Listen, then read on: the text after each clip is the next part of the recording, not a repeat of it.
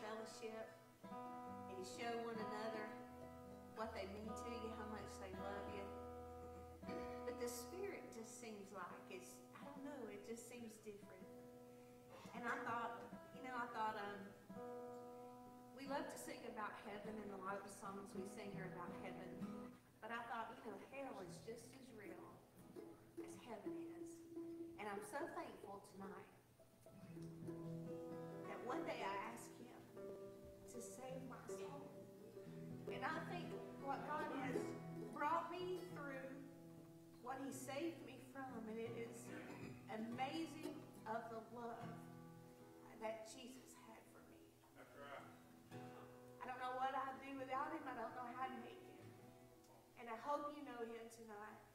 personal Savior. And we'll try to sing a few songs, and I just pray that God will just bless it and he might use us uh, for his glory. But here's an old song.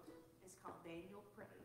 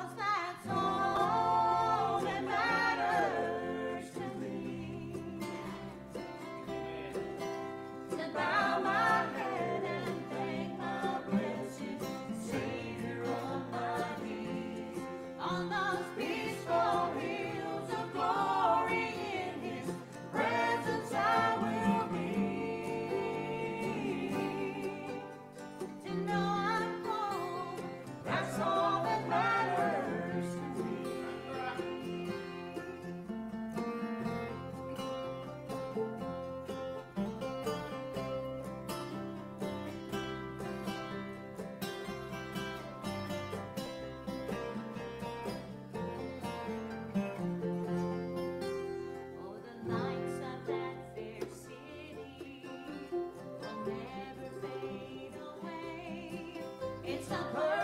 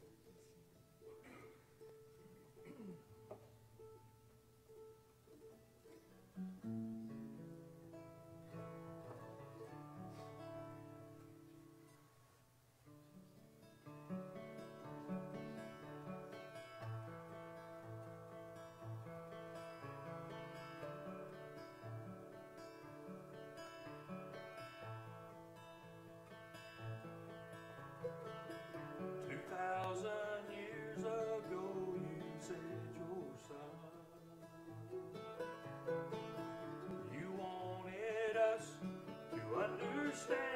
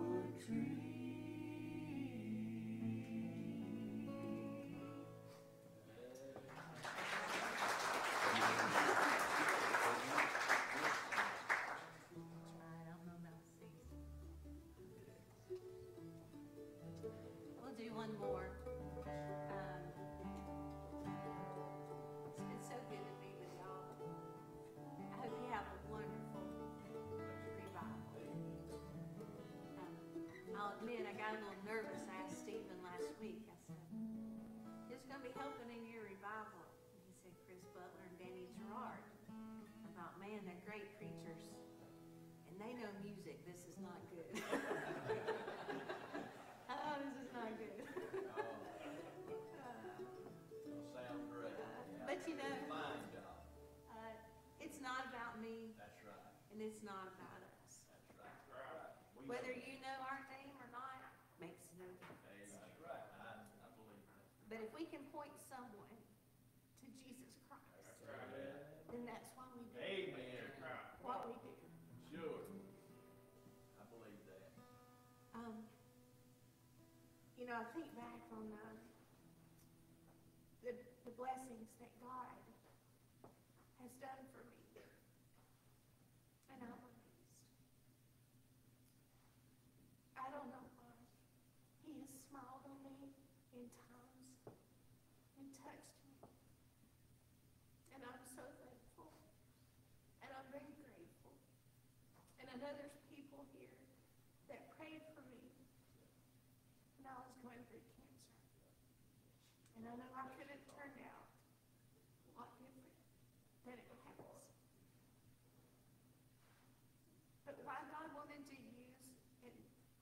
touch someone like me, I'll never.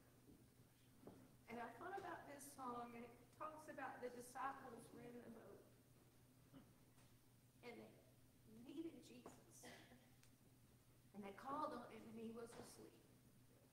And I thought, you know, they probably, he was asleep, I don't know what they were doing, but I thought, you know, they waited to call on him until there was a storm and they needed it. And I thought I do that sometimes myself. Long as everything's going fine, you just, you kind of put him back there. But man, when you need him, you need him, and you need him to show up. But just like in the story of this song, he's shown up in my life. And I am so thankful and I'm grateful. And I just want to encourage you if there's something you're going through, you just hold on. You may not think he's listening or that he cares, but he does. He does. If he had to die just for you, he would have done it. That's right. That's right. And when I think if he would have had to die just for somebody like me, he would have done that.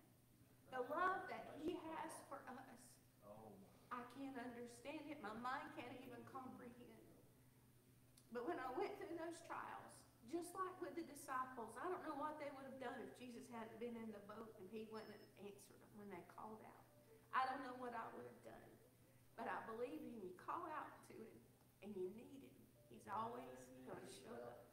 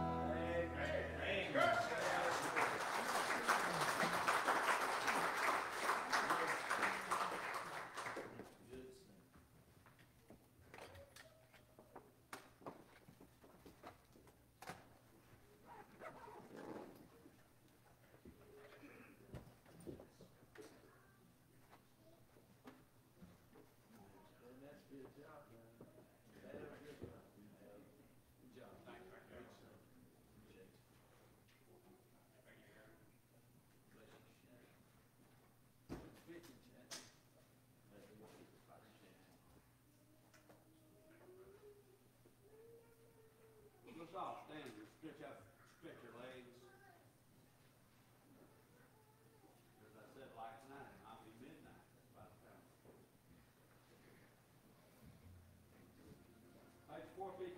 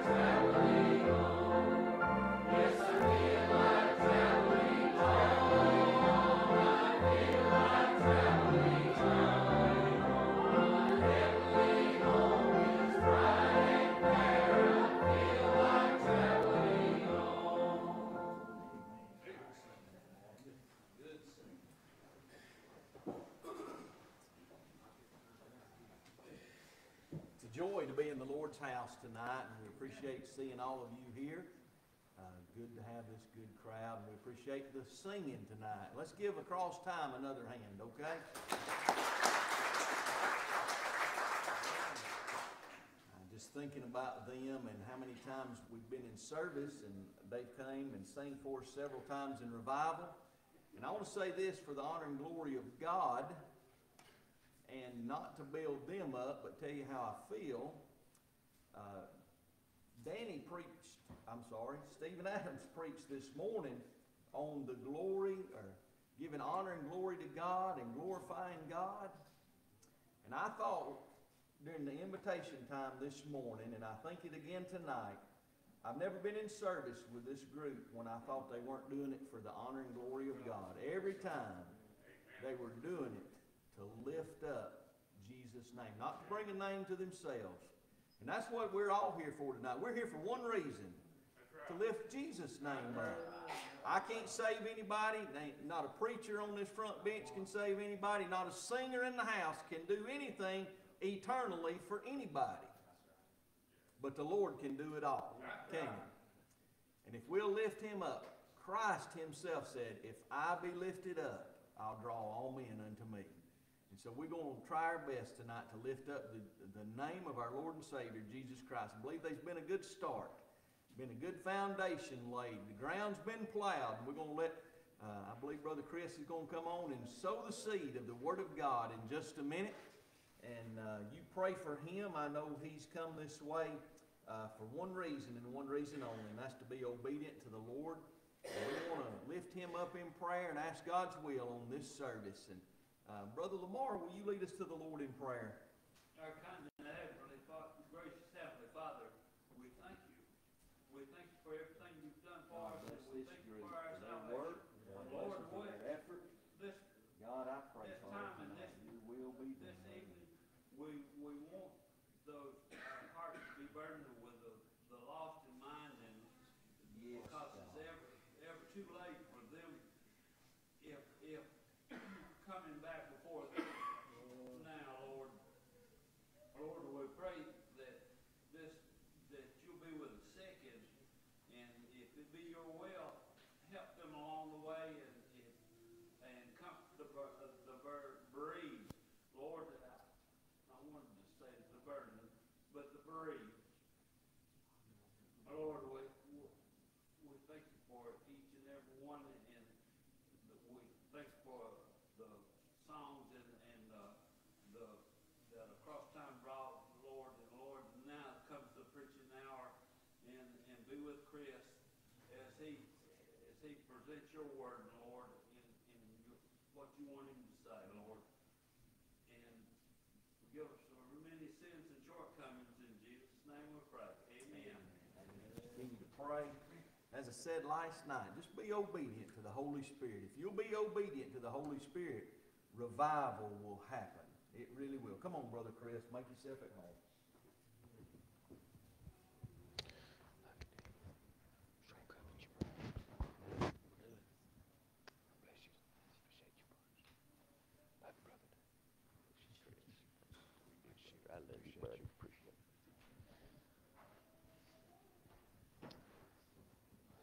Good to be saved, amen? If you're here tonight and you're not saved, then you're a special, special person that uh, I pray that before the night's out, God will reveal to you your condition and let you leave here safe tonight. And uh, it's good to be back at Mount Zion. We've uh, uh, been blessed throughout the years to have been able to come here and to help in revivals and uh, be here and while, while you've had your revivals going on, and it's just been a blessing. And uh, I want to say we've seen some wonderful things, seen a lot of salvation in this house. And Yes, sir. God's still the same God. Same God. He's still the same one. And he's still exalted and he's still lifted up. And I want to tell Brother Danny, I thoroughly, thoroughly appreciate and enjoyed the message last night and how it fed my soul. And uh, I, I know that surely I'm, I'm probably one of the weaker faith people out there. But I do appreciate a good message on faith and appreciate Brother Stephen this morning and his message about glory in the Lord. And we ought to glory in the Lord. If you've got your Bibles tonight and want to turn with us in Mark chapter number 7, Mark chapter number 7, I want to find another place, uh, maybe Romans chapter number 2.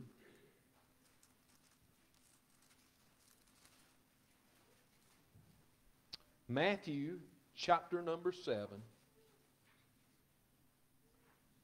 and Romans chapter number 2. And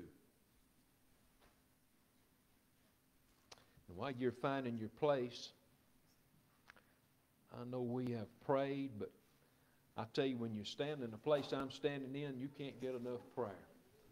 Uh, well, ask Brother Dave Fortner, would you lead us to the Lord one more time?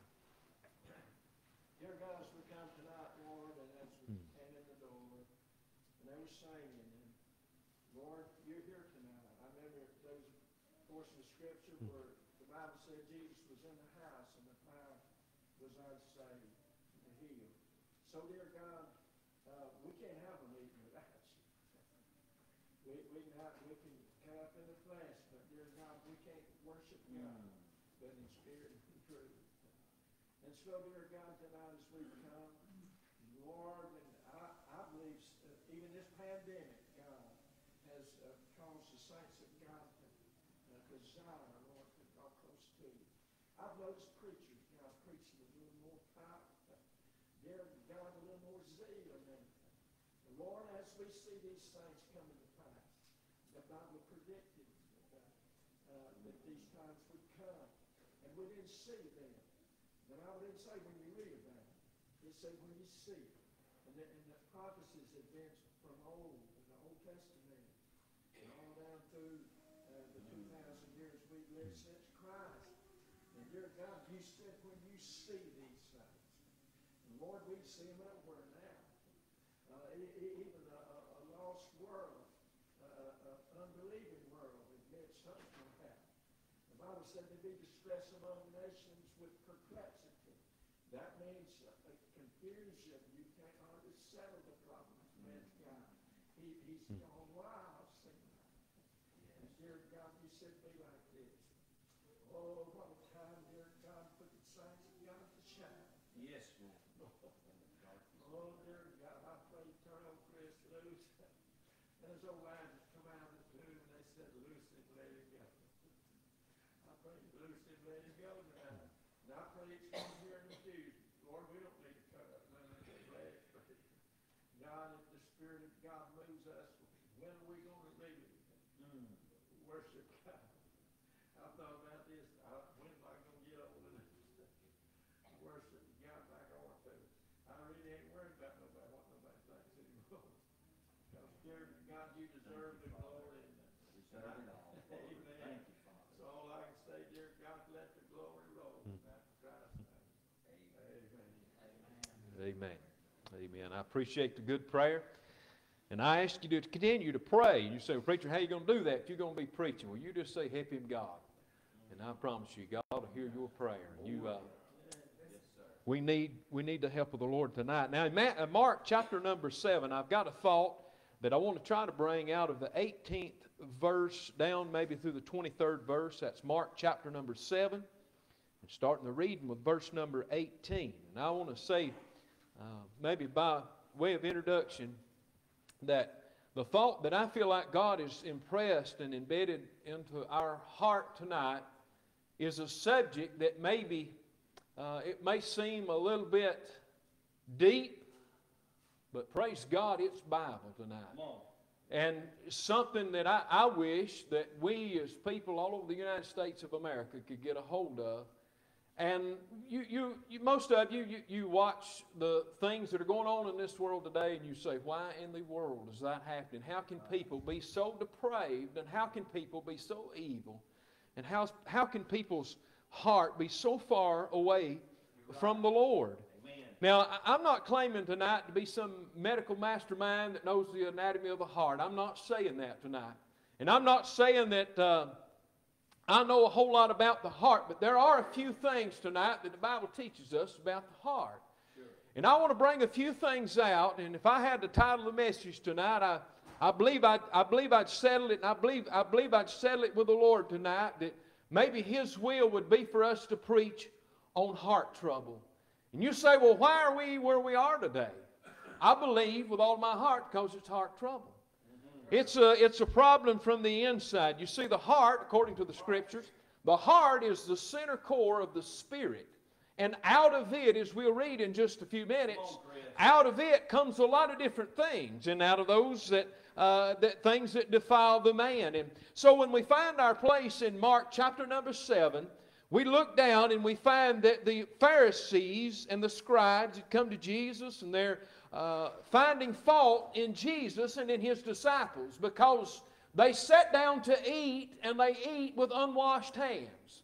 Now, I've been accused, I, I'm raised on a farm, amen. I've been accused of eating a few meals with unwashed hands, and some of y'all probably have too.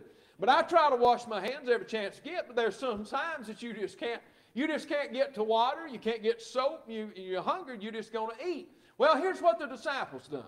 They come to the point to where they wanted to eat a meal and they're standing in front of a bunch of religious people. Let me just say tonight uh, that the, one of the biggest problems that Jesus Christ ever had in his ministry was religious people. And these religious people were teaching doctrines of man. They were teaching traditions that man had come up with that was so far away from God uh, that, that Jesus had recognized that. And Jesus, being with all the wisdom that he had and all the divinity that he had, Jesus Christ was standing there listening to what they were saying. And I want to I want to just kind of cut in on verse number 18 and show you what Jesus has in response to them. In verse number 18, Jesus said, And he said unto them, Are ye so without understanding also? Do ye not perceive that whatsoever thing from without entereth into the man, it cannot defile him? Because it entereth not into the, his heart, but into the belly, and goeth out in the drought, purging all meats. And he said, That which cometh out of man, that defileth the man. Pretty simple, isn't it? Not, not what goes in that defiles the man. Now, uh, uh, when, when Peter saw the four cornered sheet and he said, All things were made clean unto you. Uh, at that point, the Jew was starting to recognize that, uh, and Peter, being a Jew, was recognizing it's not all of what goes in that defiles you, but it's what comes out of you that defiles you tonight. Now look at verse number 20, and he said, That which cometh out of man. Notice the word out of man, that defileth man. Now listen in verse 21. He says, For within, out of the heart of men proceedeth the evil thoughts, adulteries, fornication, murders, thefts, covetous, wicked, deceit, lasciviousness, and an evil eye, blasphemy, pride, foolishness. Now, if I'm counting correctly, there is 13 things that the Lord Jesus Christ said comes out of the heart. And might I remind you that the number 13 is a number for rebellion. So if I'm looking at this, I, am thinking tonight that man's heart's pretty rebellious. Amen. I'm thinking that each and every one of us tonight, if we'd be honest with ourselves, somewhere down in the depths of that spirit that you have,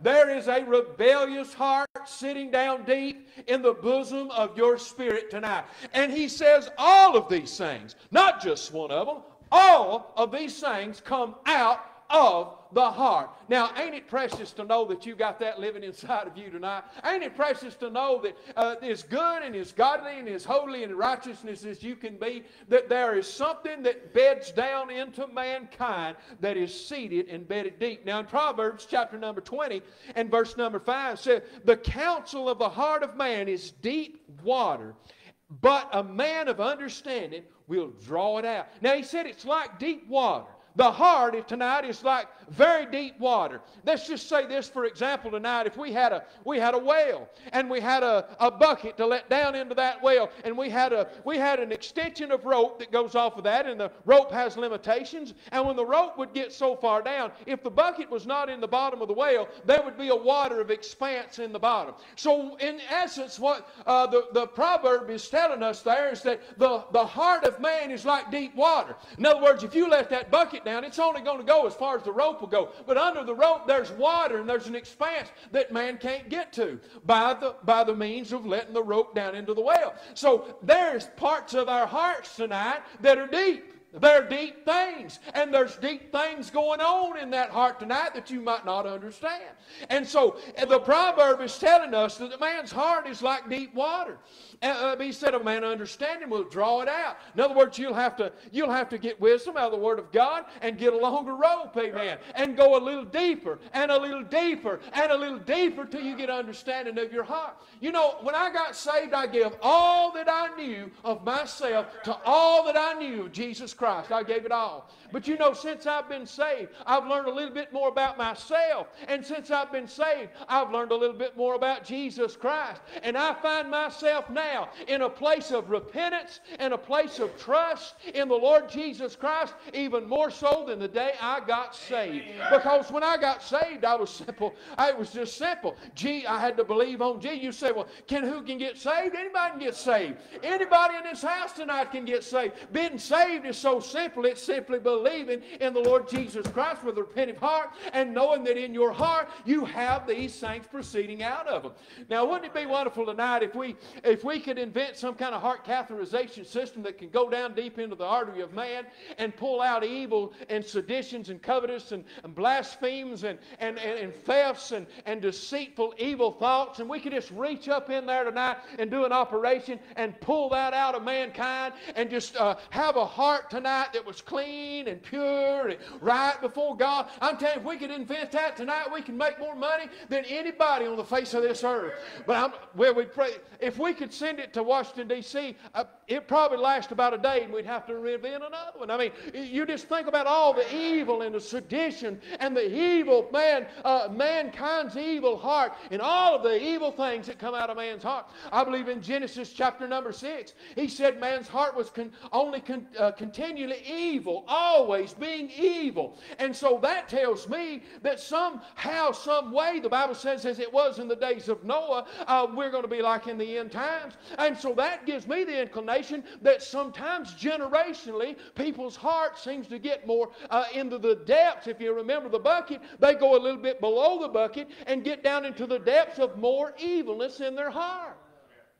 So when the flood came, uh, there were people on this earth that were dreaming up things and they were living evil in their heart continually, the Bible said. They're just without remorse. And now we're living in a day, amen. Listen, when we're getting back to the point where oh, we're getting so deep into that heart, people are reaching down deeper in the well and they're pulling out more evil, seditious thoughts and more evil and seditious ways and more evil and seditious actions. And so in those actions, they have evil thoughts, adulteries, fornications, murders, thefts, covetousness, wickedness, deceitful, lasciviousness, and an evil eye, blasphemy, pride, and foolishness. And all of that comes out of man's heart. But now, Proverbs chapter number 4 and verse number 23 says, Keep thy heart with all diligence, for out of it are the issues of life. So tonight we need to understand something. We've got heart trouble. Each and every one of us. I talked to a fellow the other day, and he walked up to me and he said, Preacher, I want you to pray for me. He said, I've got heart trouble. He said, I've got to go back to the doctor, and they're going to run a heart cath on me, and they're going to try to figure out. But he said, I got heart trouble, and I ask you to pray for me. And I, I was saying, I told the gentleman, I said, I sure will pray for him. But in the back of my mind, it, with God as my witness, I thought, sir, you ain't the only one with heart trouble. We've all got heart trouble. There's all of us. We've all got some kind of trouble in our heart. But you know what the Bible tells us? The Bible speaks of these things being rooted and bedded in the heart. The first thing I want to say about the condition of the heart is its unbearable nature. Listen, the Bible says, For within, out of the heart of man proceedeth evil thoughts, adulteries, fornications, murder, theft, covetousness, wickedness, deceitfulness, lasciviousness. All of those things come out of man's heart. So you see, the defiling of man's not what goes in. And Jesus was trying to explain to the disciples and trying to explain to the Pharisees and trying to explain to these scribes that it ain't what goes in that's defiling you, it's what you got inside of you. They, they tell, I've heard this said a lot. The only thing worse than biting into an apple that's got a worm in it is biting into an apple with a half a worm. But you ever thought about that? How you can look at an apple and the outside, the skin of that apple, it looks just fine. It has nothing uh, protruding into the skin of that apple, and that apple's just sitting there, just looking so delicious and ready to eat. And somehow, some way, that worm can be on the inside of it. You say, well, how is that? Well, let me tell you. That worm gets in the blossom. Think about it tonight. The worm gets in the blossom and the apple begins to grow. And inside of that apple is that worm growing all the time. And so when the, when the apple grows, the worm grows. And all of the time it's ripening, that worm is ripening as well.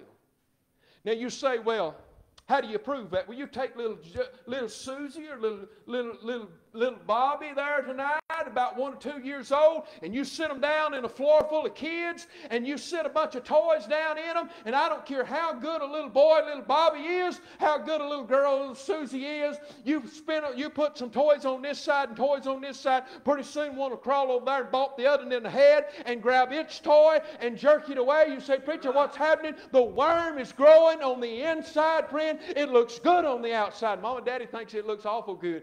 And sometimes better than they think it ought to look, amen. Listen, but that worm is growing on the inside. It's rooted, embedded down deep into the core of that apple. Amen. And as that apple grows, that worm grows. And if you don't do something about little Bobby and little Susie, and you don't teach them right from wrong, pretty soon they're going to get 16 year old and they're going to go bonk somebody in the head in a bar somewhere, or somewhere on the side of the road somewhere, or in some uh, hellish place of this world. And friend, you say, whose fault is it? I'm telling you, it's what's on the inside that defiles them, and not what's on the outside. Now, tonight you come in here and you can, you can clean up, you can take as many baths as you want to.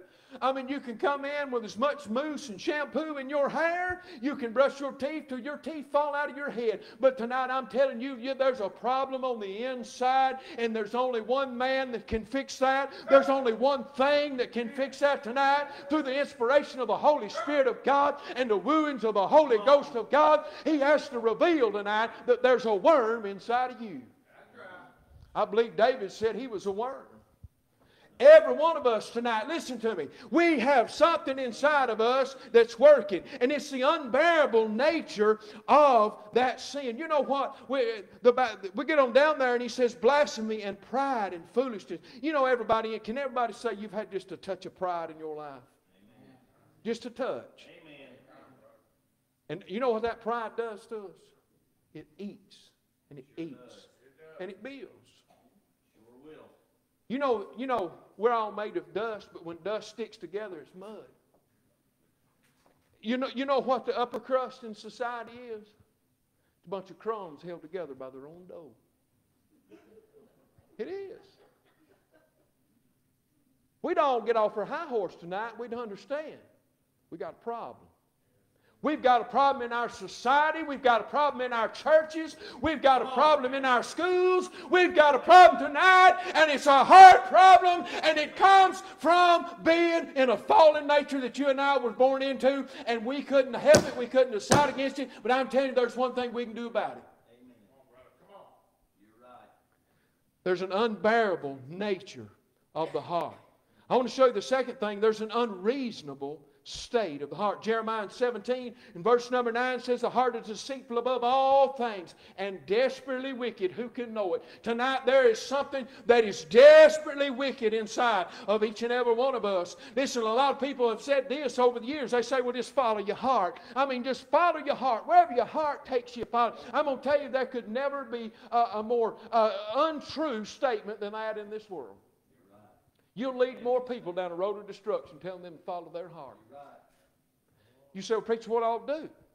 You bring your heart under the subjection of the Holy Ghost and you pray and you pray until your prayers line up with this book and then you move forward. But friend, if you're if you're not lining up with this book, your heart will lead you in all different directions. Tonight, there's been so many marriages busted up. There's been so many bad decisions made out in this world. And they've all been because somebody has followed their heart. They thought they were doing the right thing at the time. There's so many uh, premarital uh, pregnancies going on today and premarital births going on today because they followed their heart. Now, why would you follow something that, that Jesus said that out of it comes evil thoughts? Out of it comes adultery. Out of it comes fornication. Out of it comes murders and thefts and covetousness and wickedness and deceitfulness. Why would you want to follow that? I tell you, there's, there is a, there's an unreasonable state in the heart.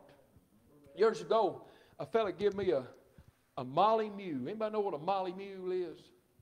I'm a, sto- I'm a storybook at heart, but I, I read some of these old stories about how these farmers used to farm, and I say, I want to do that.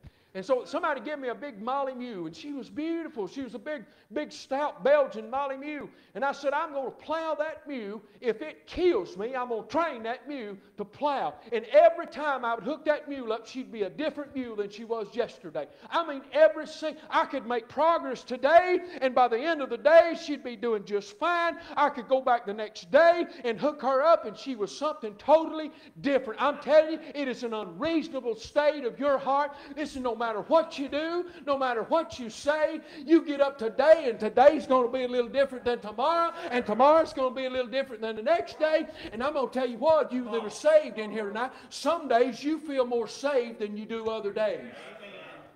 Say, so, preacher, why is that? It's your heart. It is your heart. Now, some people have got the false idea that you can train your heart. You can manipulate your heart. Friend, there's something got to happen to that heart.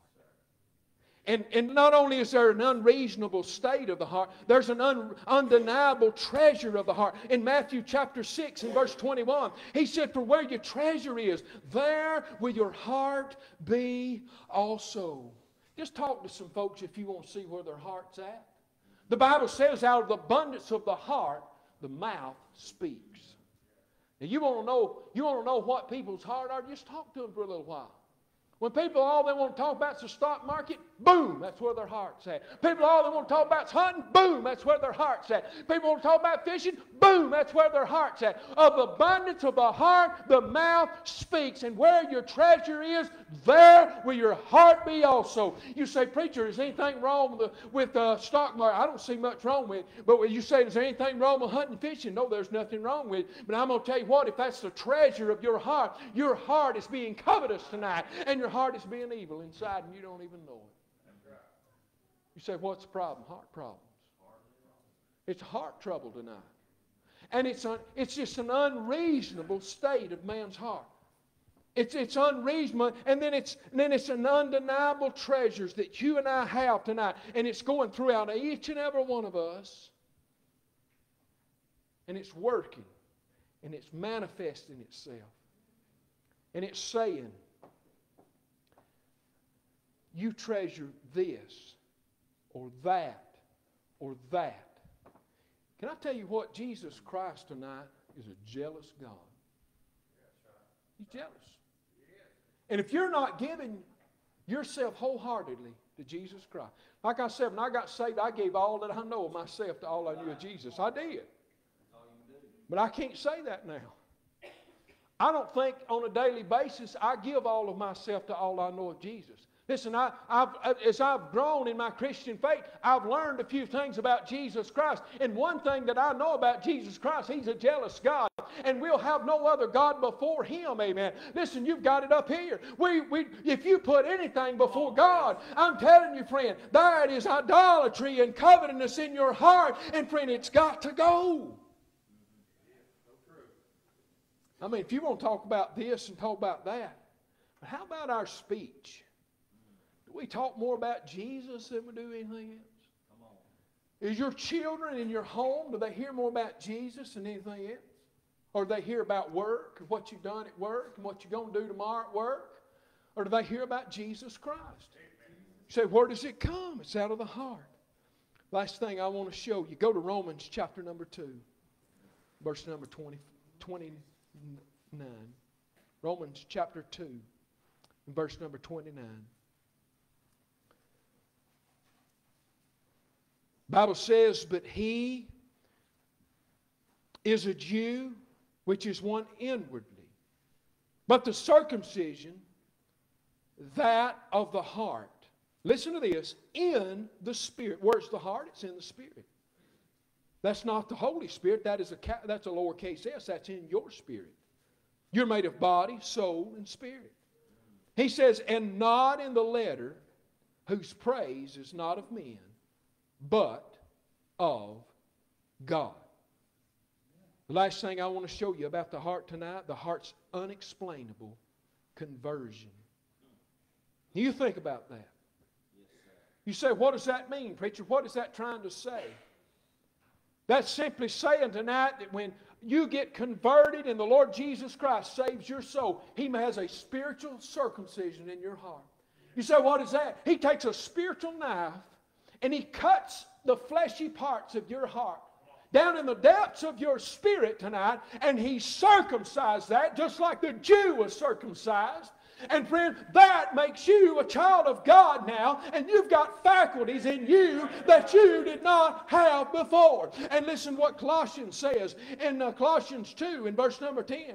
And you were complete in him, which is all the head of principalities and powers, in whom also you are circumcised with a circumcision made without hands in the putting off of the body of the sins of the flesh by the circumcision of Christ. Jesus Christ takes a spiritual knife. He pulls it out. He separates your spirit and soul from your body, your flesh. And you know what now? You may sin. You may be, you may uh, covet things, but you're not a coveter. You may commit adultery, and God help you if you do commit that awful, horrible sin. But you would no longer be an adulterer. You would have committed adultery. Because why? Because your body has been separated from your soul and from your spirit tonight, and you've had a spiritual circumcision, and God Almighty has separated separated you from sin. Your sins are under the blood of Jesus Christ tonight. Thank God. You say, How does that work? I don't know. The unexplainable conversion of the heart. I'm going to tell you what happened with me. So, that Sunday morning I got saved. There was something dealing with me, wooing me, and calling and, and bidding my heart to come be saved. And I was too scared to walk up the aisle and go to the altar. And the preacher started on this side of the house shaking hands, and it was like he had a megaphone. He said, Are you glad you're saved? Are you glad you're saved? Are you glad you're saved? And friend, that echoed so loud, I don't believe it come past my ears, I believe it went to my heart. And I knew in my soul, I said, if that man comes to me, I am not going to look him in the eyes and lie and tell him I'm saved. Everybody in the house that day thought I'd been saved. Everybody in there thought that somehow, some way, just by being a good little old boy, that I'd lived a life good enough and surely I was saved. But I'm going to tell you, I was as big a lost man in that room as if any drunkard or any adulterer or any sinful man that had ever walked through the doors. And my heart was black and my heart was dark and my heart was evil. And the Holy Ghost wooed me. He said, You got a little worm down in there. And he showed me I was a sinner that morning. I thought I was doing all right. I honestly thought just being a good boy would get me into heaven. I thought all the times down at Abraham Baldwin Agriculture College that I didn't, I didn't put a sip of beer to my lips. I didn't put a, a drink of alcohol to my lips. And I hauled them boys around to keep them from wrecking and dying in car wrecks. I thought that's going to get me to heaven. I just, I just done right by God, I thought. I thought that maybe just because I didn't ever put alcohol to my lips, I was going to go to heaven. Come on. I thought maybe because I drove them boys and, and I went and got them when they'd get in bad way, out partying and drinking, I thought that's going to be good enough for me. I'll just do that. And I'm going to tell you what, when the Holy Ghost moved my heart that morning, He showed me that wasn't good enough. He showed me that there was a worm on the inside of the apple. And that worm was rotten and cankered and sin filled and sin soaked and so sorry that it was going to kill me one of these days if I didn't do something about it. You say, you say, what happened, preacher? It's the way I believe it. I believe Jesus Christ pulled out that old knife. Amen tonight. Jesus Christ pulled out that knife. And he come after my old fleshy heart. Now I knelt right there where I was. Didn't make it to the altar. I knelt right where I was. And asked Jesus to save me. And I'm going to tell you what. Before I hit the bench, the Lord saved me. You say, how long did it take him to make that circumcision? I don't know, maybe a half of a second. And he cut that old stony place. Reached in and got that old worm in my heart and pulled that thing out. And now, friend, listen to me. Listen to me. And now, listen, I've got faculties inside of me. Listen, I may sin and I sin daily. I may come short and I come short daily. But, woo, thanks be to God tonight. I've got something on the inside named Jesus Christ. And through the Holy Spirit tonight, I've got something to help me with my old wicked, depraved heart. I've got something inside of me tonight that tells me that, listen, when I've done wrong, I can take it under the blood of Jesus Christ. And I can go home clean tonight. Listen, I'm going to tell you what. You can go home clean tonight. You don't have to leave this building. You don't have to say you come to Mount Zion on a, on a Monday night and left miserable and feeling low and heartbroken. You can come tonight and get your heart right. You say, how does that work, preacher? We confess our sins. He's faithful and just to forgive us of our sins and to cleanse us from all unrighteousness. That's how it works. You just humble yourself and ask Jesus to cleanse you tonight and give you what you need. He'll circumcise tonight. You see the little Jew boy on the eighth day. He had to lay under the he had to lay under the knife. And I believe Moses, his wife, after she got through circumcising their little child, she threw the, threw the knife down. I believe blood on her hands. She said, A bloody man art thou. See, that old circumcision of the flesh, it was a type, it was a picture. of what Jesus Christ is going to do in the New Testament. And let me just let me clue you in on something. You're living in the New Testament. Listen, there can be no testament without the death of the testator. When Jesus Christ goes to the cross, he says, It is finished. And on that point, friend, the New Testament's ushered in, and you and I are living in one of the greatest ages that has ever been on the face of this earth, the age of grace. And now all you've got to do, you don't have to pull a knife out and cut your uh, eight day old boy anymore. You've just got to get him under the blood of Jesus Christ and let Jesus Christ make that transformation. You go crazy trying to define the Trinity. You will. I've tried it. You get to thinking about the depths of the Trinity of God, it'll drive you crazy. You just keep going and going and going. And I'm going to tell you what. You may not ever figure it out. And you'll drive yourself crazy and go out of your mind. But if you deny it, you'll lose your soul. That's a sure fact. You may not understand it. You may not know all about it. I don't know all about it. But I'm telling you this tonight. Listen, it may be hard to fathom. It may be hard to understand how somebody cannot be, as Brother Danny preached the other night, a man cannot be standing here in a physical stature, but yet he can do the work that is done on the inside by the action of your faith in him. You see, it's not really our faith, it's the faith of Jesus Christ. You see, you can have all the faith in the world tonight. You can have faith that your car is going to get you home. That ain't getting you to heaven. You can have faith that the bench is holding you up. That ain't getting you to heaven. you got to put your faith in the faith of Jesus Christ. He was faithful to go to that cross and to die for you, friend. And if He did not die for you, you've got no faith at all. Amen. You got vain faith. But if you'll put your faith in Jesus Christ and what He done through the death, burial, and resurrection of the Lord Jesus Christ, you can have it all tonight. You see, I'm not up here tonight. Listen, my job ain't to sort the fish. My job's to drag the net tonight. I don't know where you stand with the Lord. I don't know anybody in here. I can speak for myself. I know some good, godly Christian men and women in here today. But I'm telling you, I don't know your heart from nobody else's. Listen, and that's not my job. I'm not over here sorting you out saying you're saved and you're lost. All my job is, is to drag the net to the gospel tonight and walk through this building and catch as many of you with the Holy Ghost that God will allow, amen. That is the job God's given me to present the gospel. It's God's job to sort you out. It's God's job to show you tonight.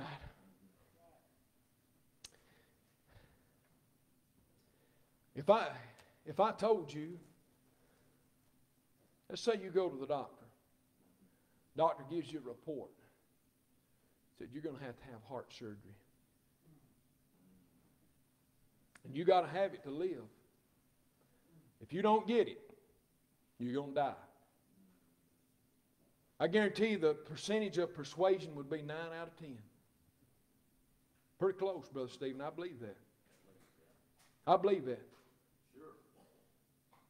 And you'd believe a doctor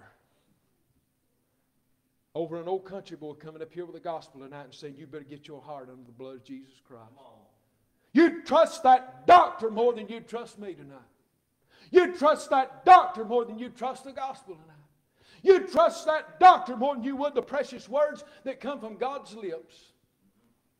I guarantee you, nine out of ten would lay on a table and let a man that's fallible, let a man that's, that's, that has error, let a man work on you and perform a surgery on you and Jesus Christ tonight, He's offering you a surgery with no needles. He, he's offering you a surgery tonight with no anesthesia. He's offering you a surgery tonight with no recovery time. And He's offering you a surgery tonight where you'll not lose blood, you'll gain blood. Amen.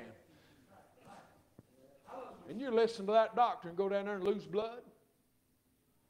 You'll have a recovery time. All of that stuff Jesus Christ is saying, Come, on, come unto me, all you that labor and heavy laden, and I'll give you rest. He's saying tonight, all you got to do is come get this operation. All you got to do is walk up and get it. You won't feel a prick. You won't feel a needle. You won't have to, you won't have to worry about anesthesia making you nausea when you wake up. You won't have to worry about that. All you'll be concerned with when you wake up from this operation is glory and heaven's home. That's all you be worried about. I'm going to tell you the morning I got saved. Listen, I'm not trying to say this to discourage anybody because everybody's experience is a little bit different. But that morning, people that I'd known all my life never looked better. I'm not saying they had halos on their head. I'm not saying that their face was glowing white like Moses off the mountain. I'm not saying that.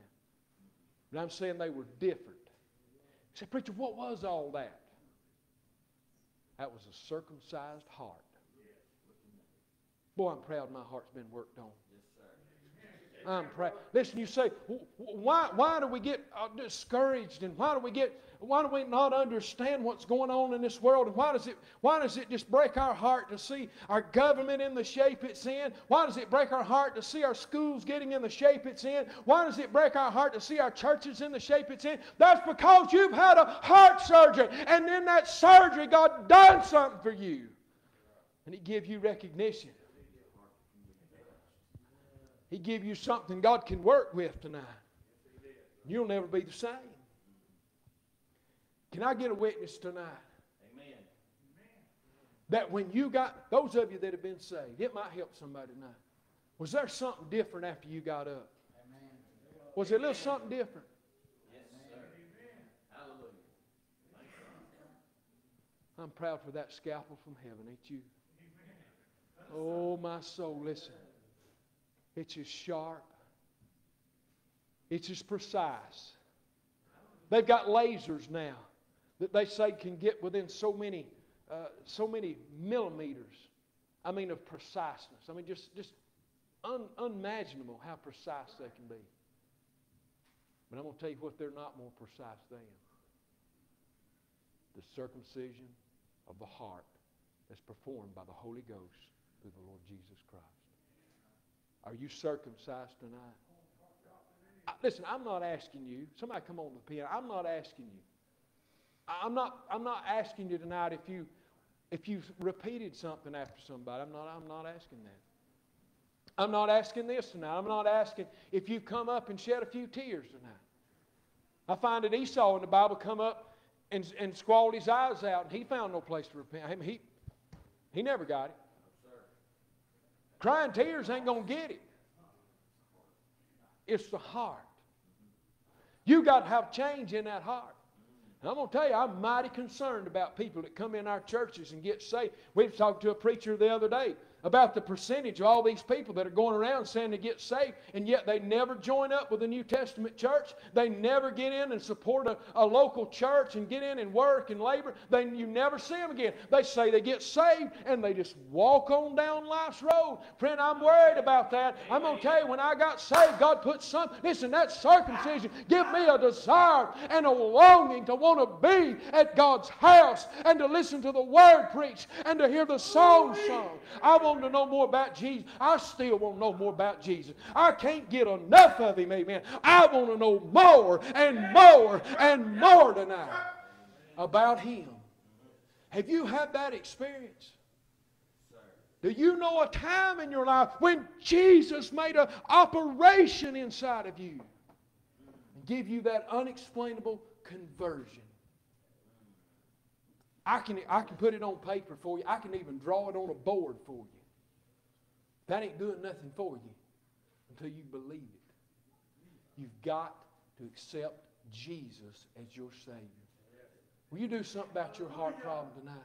Maybe some of you in here tonight, you've got, you've got wayward loved ones that, that, that have gotten far. Listen, I'm saying, listen, you still got a, you still got the depravity of your heart. Don't you let anybody tell you you don't. There's still things can come up and listen, that well's deep and that water's deep. There's still some things in there. Listen, sometimes I get to looking down into my heart. I don't like what I see. I mean, I have to get down there and examine that thing. And there's things in that deep, chilly water down there that this old preacher don't like. But you know what I can do that a lost man can't? I can get on my knees and crawl down on my face and I say, Oh God, forgive me. Oh God, why did I think that? Oh God, why am I got that in my heart? And God can clean me up and I can come up a pure man. I've got that capability tonight. Boy, I ain't got time to preach on all the doctrines of salvation, but man alive, if we could really get into the doctrines of salvation now and know what God done when He operated on your heart.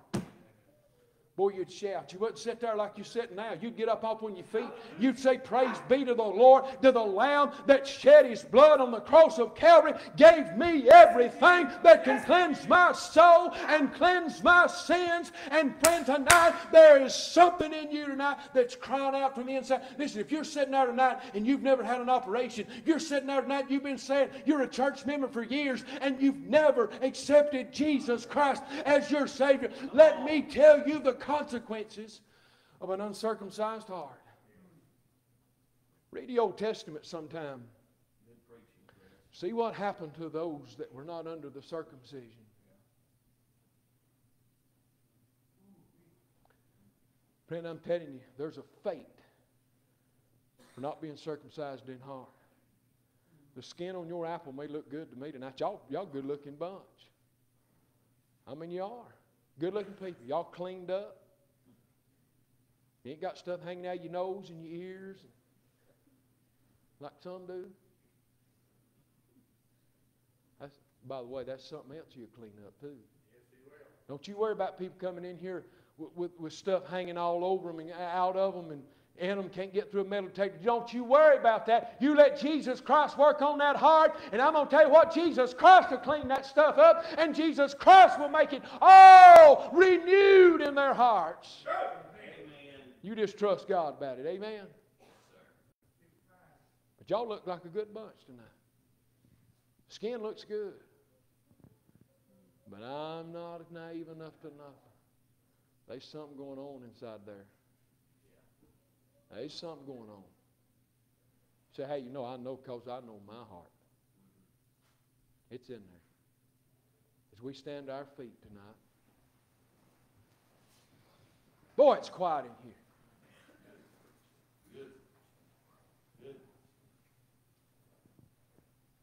As we play softly, I, I,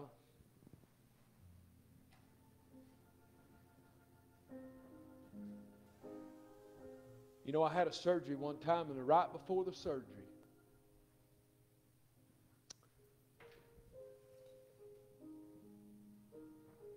I got up that morning. I'd had to fast the night before.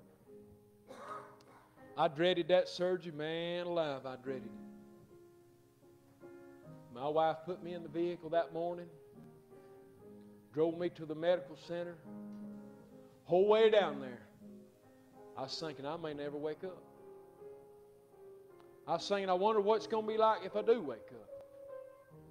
Am I going to be sick? He said, You might be nausea, you might have this, you might have that, you might have hematoma, or whatever you call it. I mean, all that stuff. And I'll tell you what not to do. Don't read them little pamphlets they give you either. I'd read that thing from front to back and back to front. And I said, Boy, I sure do dread this. She pulled me in and they come got me in a little chair, a little wheelchair. They rolled me back there. A lady I'd never seen in my life. Sure wasn't my mama. She come got me and laid me on a little gurney, stuck a needle in my arm. I laid there probably 45 minutes. Finally, they came back and got me and rolled me up. She put a little gown on my head, wiping this red stuff all over me. And I said, Ma'am, is this going to hurt? She said, Not just minute. She put something in my vein. God is my witness. I don't know what that was, but it felt good. I didn't worry about anything. It was all right then. I'm going to tell you something tonight. If you've never been saved, listen to me. It may be dreadful tonight. It may be hard on you to think about coming up in front of these people. It may be hard on you if you're here tonight and you know there's something you need to come examine in your heart. It may be hard for you to walk up in front of these people, but I'm going to tell you what. When the Holy Ghost injects into your soul that sweet taste of salvation, it's good stuff. It's good stuff. He'll do, he'll do, amen. Listen, he'll do when the world's on fire. He'll do, amen. He'll do throughout eternity. It is something that you've got to have when you leave this walk of life. Would you come get it tonight as we sing a verse of some song? Listen, Jesus, He listen, He wants to operate tonight. He's got something He wants to get done here tonight. And I'm telling you, listen, you've got to be faithful and come out and let Him operate on you. Just step out by faith and say, Jesus, I give you all, all that I know about me. I'm wretched and lowly and just an old sinner. I give it all to you tonight. Say, is that good enough to get me saved? I promise you it is. It will get it done as we sing tonight. How's your heart? Would you be honest with yourself tonight? You've got heart trouble. You've got heart trouble.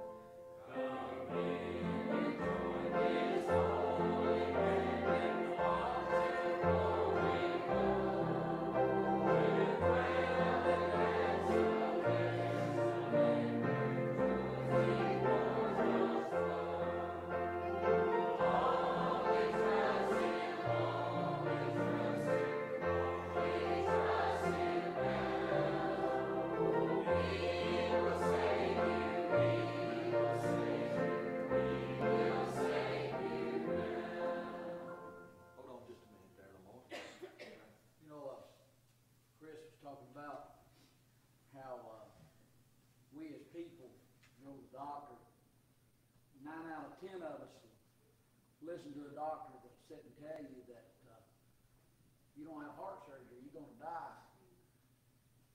You know, after listening to him talking about a fallible man gonna go cutting on me, he may cut that number down to about seven to ten, I don't know. But, you know, it's all because I know what he was what he was saying was to me that uh, we've learned to trust in things that we understand by you know people who understand it that can make sense out of it and, and can explain it to us and, and, and we've been raised and we've kind of been indoctrinated about uh, trusting what you know what you can see what you can understand uh, what you can taste and hear and trust in those things. Uh, but if you're sitting there trying to wait on how to figure out God and figure out salvation before you get saved, you ain't ever going to get saved. No. Because I don't understand it. No. I've been saved for over 40 years, and I still don't understand it. I, I've been seeing people get saved in that amount of time longer than that all my life, and I still don't understand it. How can it be that all I have to do is just simply be convicted by the power of God, get in an altar of repentance, cry out to an all eternal, living, creating God, and forgiving, merciful God, and ask Him to save me, believe it in my heart, with a heart and with a mouth confession is made unto uh, with a with a mouth confession is made unto salvation and that we might be able to and it's that simple it's that simple and and now once i get it as Kris was talking about once i get it i don't have to worry about that no more That's right. how does that make sense how does that make sense stop trying to make sense just believe. You see, Christ did the hard part. He left you with the easy. Stop trying to figure out salvation. Stop trying to figure out God. Just let God amaze you. Mm. Just let God have you. And just trust in Him. And He'll save you. It's that easy. It's that easy. You know, we as we as people, we're the ones who made salvation hard. That's right. We really are. You know, but when you look at back through time, has it not always been a lot of the trouble that we've had as humanity all, all the world over? A lot of trouble starts when a man can't understand it. You ever thought about that? Trouble starts, and we fear things that we can't understand. And that's when trouble starts, is when you can't understand things. But who's the author of confusion? Satan's out for confusion. So stop being confused. Stop trying to figure out God. Just come get saved. It's that easy. It's that easy. Don't let something hard that you don't understand send you to the devil's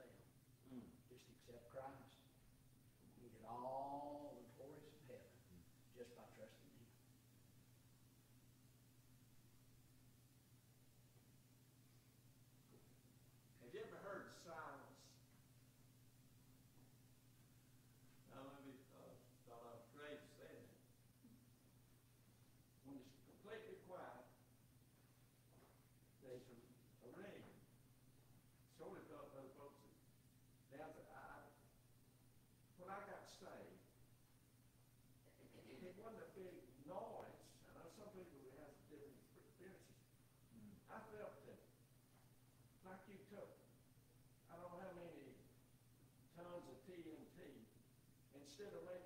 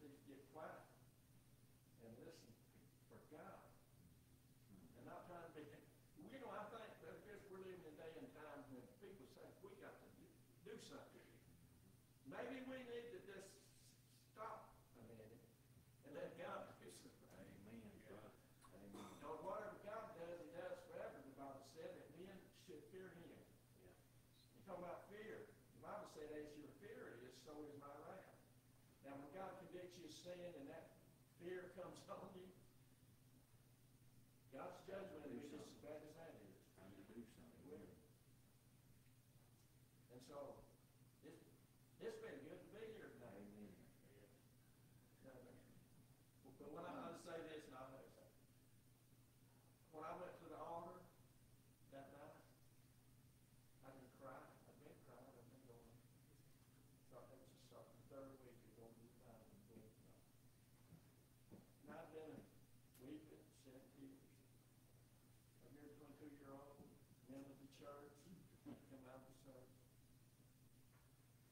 say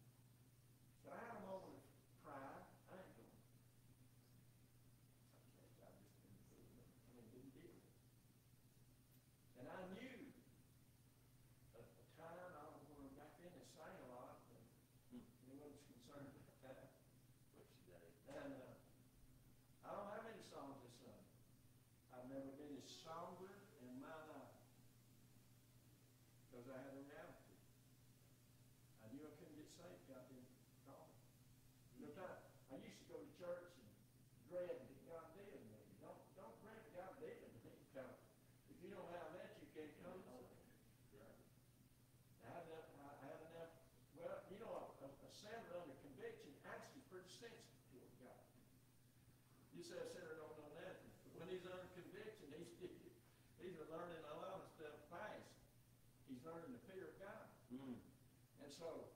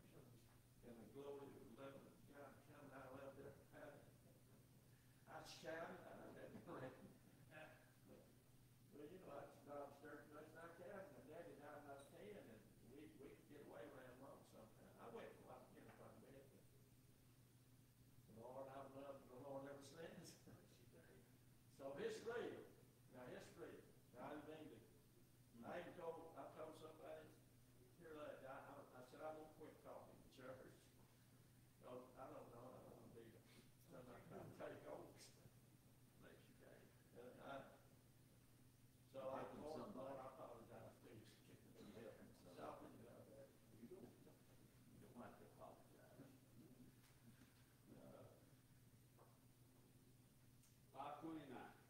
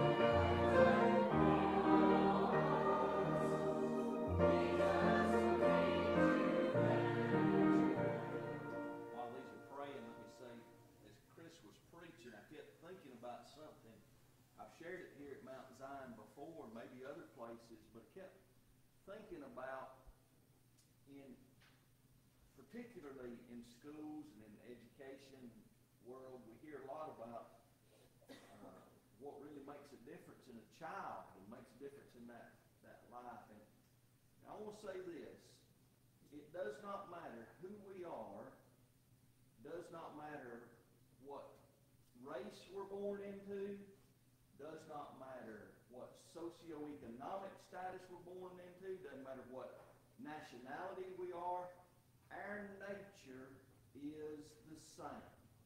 We're all born with that Adamic nature of sin. There's no difference. Doesn't matter what country, doesn't matter what language I speak. Our, our nature is the same. And that nature, Brother Chuck, is a depraved nature. It's apart from God. It's contrary to God. And I and and whether we like it or not, listen to me.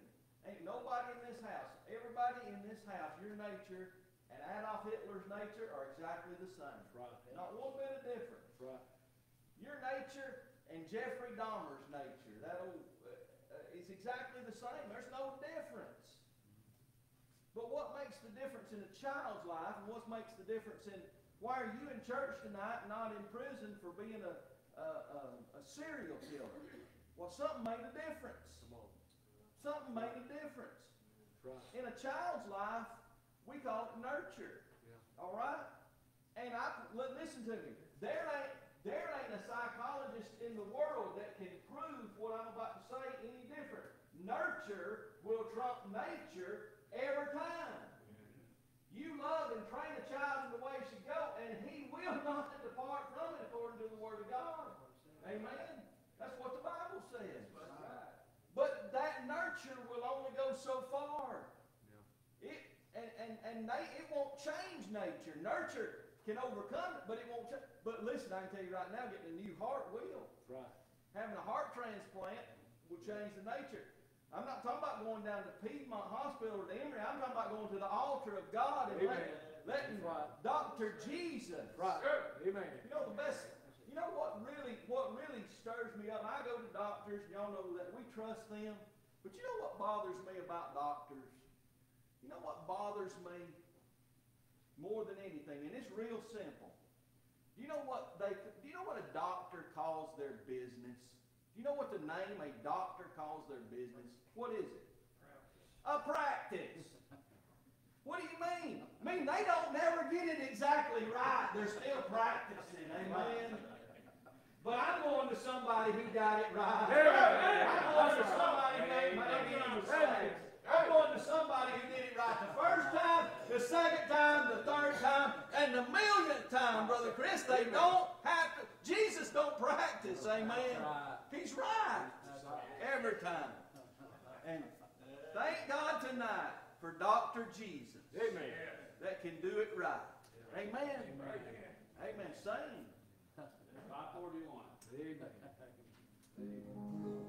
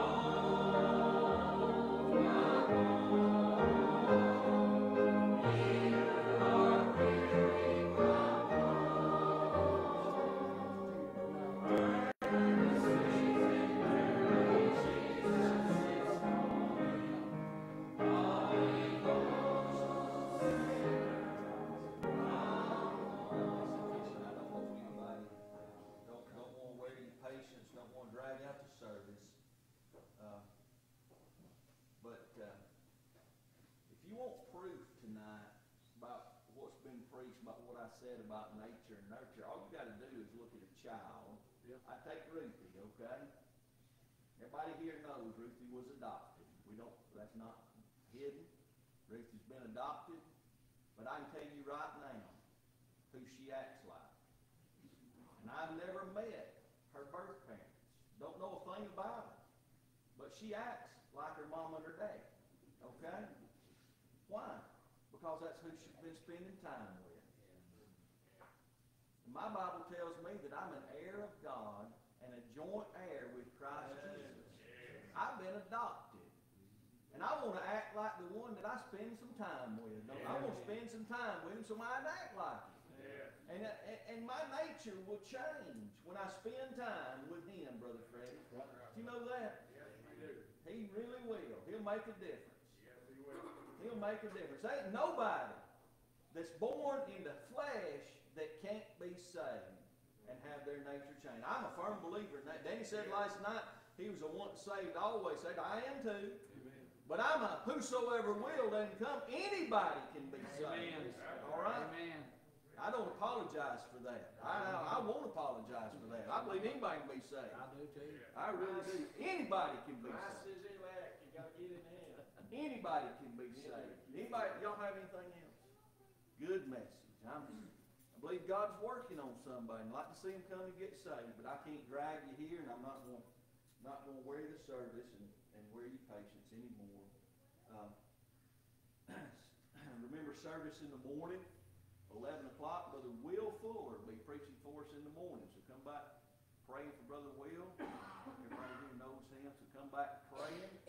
Uh, and then service tomorrow night at seven. We'd love to have you come back and be with us. Uh, Mount Zion Choir is going to be singing tomorrow night. Is that right? Is that right, Lamar? Yes. Say it loud. you? Yes. All right, now, I don't know if this is gonna run you off or let you pray for us, but we ain't sang in over a year, all right? So we need your prayers. Pray now, right, Karen? Go praying, come back praying. But listen, uh, listen, I, I, I, I, I believe the Lord's gonna save somebody, get somebody close to Him, somebody right. My, I don't know anybody's heart, but God's working on somebody. Don't send a message like this and like last night without somebody needing to hear it. And so God's still working, and you go away praying, come back praying. If you want to come back to the church tonight after you get home, you need to come back pray. Call me, we'll come back and pray. You want to come in the morning for service, call me, we'll come pray. If you just want to get down on your knees home tonight and call me on the phone, and we'll pray over the phone. I've done that and had a little girl get saved. Amen. Is that all right?